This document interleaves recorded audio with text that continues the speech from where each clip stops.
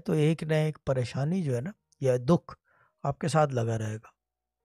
कह रहे हैं कि अगर मसले ना हो, यानी कि कोई मसला नहीं है, आप बैठे हुए हो कुर्सी पे और शुक्र अदा कर रहे हो अल्लाह का और देख रहे हो कि कोई भी मसला नहीं है इस वक्त तो कह रहे हैं एक मसला क्रिएट कर लो अपने लिए खुद कोई क्रिएट कर लो।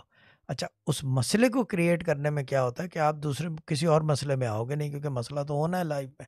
जो रूहानियत के लोग होते हैं, या रूहानी नहीं कहूँगा, रूहानियत के रास्ते पे जो चलते हैं, वो अपने लिए मसाइल खड़े करते रहते हैं। छोटे छोटे से मसाइल कि वो ओवर स्टेप कर सकें, जस्ट टू रात रात गुजरे, सुबह हो जाए, बस। वो इस तरह की चीज़ें करते हैं कि ईजी हो जाए लाइफ। कि यानी कि जो ये दिक्कतें हैं ना, ये जो परेशानियाँ हैं, ये हल होती रहे।